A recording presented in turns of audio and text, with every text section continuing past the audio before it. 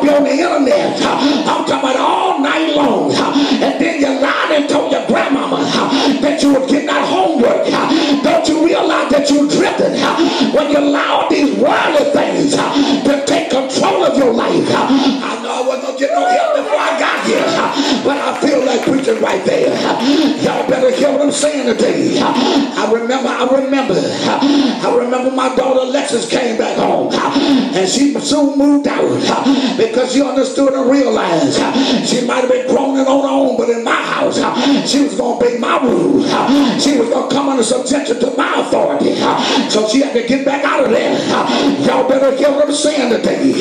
What am I trying to tell y'all today? All need some limitation on us. The children need some limitation.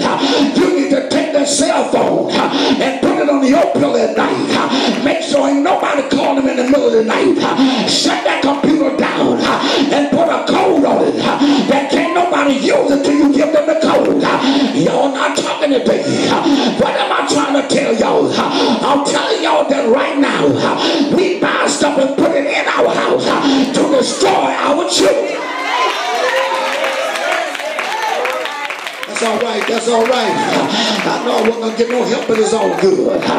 The danger of drifting is not limited to the physical realm. In the book of Hebrew, we find a warning against drifting. Tell your neighbor, say, stop drifting, stop drifting. Say, get your mind right. Get your mind right. Sadly, is not uncommon for the saints of God to drift toward destruction. It never sad commentary. It is not uncommon for saints to drift toward destruction. Things that we should know about drifting. The first thing we ought to know, drifting requires no effort. Oh, y'all, did y'all catch that? I said drifting don't require no effort. It did not require any effort for the men to go over the waterfall, but it required a whole lot of effort to go and, and, row against the, uh, the tide. And that's what I'm trying to tell y'all today. In order for you to uh, keep drifting, just stop overing. If you're not boat, you stop overing. You got to understand what's going to happen. You're going to drift. You got to stop overing against the wind. And a, and a uh, buster will begin to drift. You got to understand that you're going to begin to drift. The same is true in the light of a saint, which is why we are told that we should give more honest heed. You ought to take heed to the word of God. That what the right of Hebrew was trying to tell us. The second thing we need to understand about drifting, that drifting is an unconscious process. It is possible to drift and don't even know that you're drifting. Y'all listen to what I'm saying. Sometimes I let me put it this way. Do y'all remember when J. John John, Robert Kent John Kennedy's son, when he died in that plane crash? There was no doubt that he was drifting, didn't know he was drifting. And so you start drifting, don't know you're drifting, it's dangerous because you got to understand in a boat there are undercurrents are often unnoticeable from the surface even though on the surface everything seems like it's calm but there's an in a plane the wind a gravitational forces it'll move the plane without you. He realizing that the plane has moved. Am I right about today? So the same thing is true in the spiritual realm. Many individual Christians have slowly drifted away. Have you ever seen people that come to church and look like they was all excited and all of a sudden excitement was gone? All of a sudden the zeal was gone they start, they start missing Tuesday night Bible class. Then they didn't show up on Friday night worship service. And then they start just coming late on Sunday morning service. And they didn't show up on Sunday night service. They just started drifting started drifting. And then all of a sudden they begin to justify. We don't have to come to church all the time. It don't take all of that. It don't take all that praise and worship. It don't take all that praying. When I was looking at the football game yesterday and when San Francisco scored a touchdown all the people in the stadium looked like they was going crazy. I want y'all to understand something. I got a little emotional myself when the Saints scored their last touchdown. Y'all better hear what I'm saying today. But have mercy. After a while, here come the heartache and here come the pain. See, that's the thing about it when you drill. All of a sudden you get attacked from you don't know where. All of a sudden you're not paying attention. And the devil come in with a sneak attack. Just like they did with that quarterback sneak yesterday. Fool everybody in the house. That's the way the devil do the saints. The devil come in with a sneak attack. When you least expect it, the devil of tricks out of his books that you never seen before. You say, where did this come in? That was not in the game plan. We never seen him run that play before. But that's the way the devil is. The devil don't show you everything. He just show you a little bit at a time. He not gonna release all of his arsenal on you at once. He just give you just a little bit. And so you come back to the house of God and you begin to shout and say, I Oh, I can stand up and testify. The devil thought he had me, but I got away. You can stand up and give all these great testimonies. But all of a sudden, here come that quarterback streak. That catcher going down the left side. And all your players going down the right side.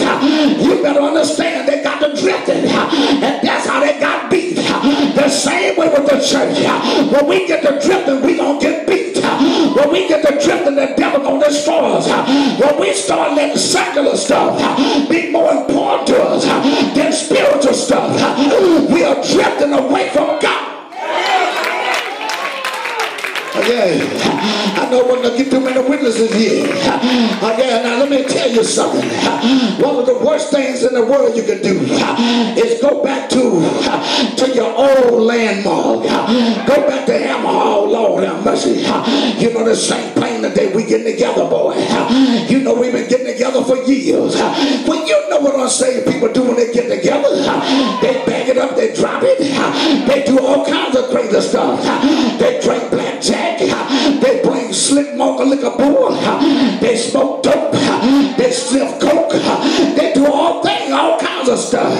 At these parties. And some of them are your kin folks. I don't care if your mama. I don't care if your sister. I don't care if your brother. When you gotta watch a football game, watching at your own house, where everybody in your house is saved, y'all not liking it today. The fact of the matter is, many churches that gradually drifted and they gone into error. Only one day to find themselves so far removed from the scriptures. Have you ever been around people, a church that was preaching the truth? They were standing up for holiness. They were standing up for righteousness. Then all of a sudden, they start getting different preachers in. They preach all kinds stuff. Uh, and all of a sudden they go to drifting. Uh, all of a sudden the Holy Ghost is not necessary. Uh, all of a sudden baptism is not necessary. All of a sudden if you get baptized, it don't matter how you get baptized. The church start drifting because they let false prophets come in and speak a lot of false doctrine. In order to get Lord have mercy, thank you Holy Ghost. We don't want to be like every other church. We don't want to act like every other church.